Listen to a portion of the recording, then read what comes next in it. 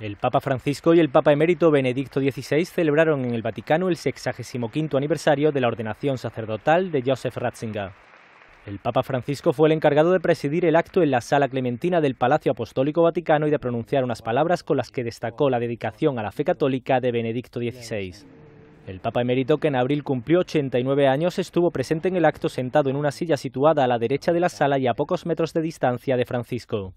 El pontífice emérito alemán aprovechó la ocasión para agradecer el homenaje y también para pedir un mundo de amor y de vida y no de muerte. Ratzinger recibió su ordenación sacerdotal el 29 de junio de 1951 en la Catedral de Frisinga, sur de Alemania, de manos del cardenal y por entonces arzobispo de Múnich, Michael von Faulhaber. En 1977 fue nombrado por Pablo VI nuevo arzobispo de Múnich y ese mismo año le ordenó cardenal. Posteriormente, en 1981, fue designado prefecto de la Congregación para la Doctrina de la Fe por Juan Pablo II, a quien sucedería al frente de la Iglesia Católica a partir de 2005. Desde su renuncia en febrero de 2013 reside en el monasterio Mater Ecclesiae del Vaticano y no es frecuente que aparezca en público.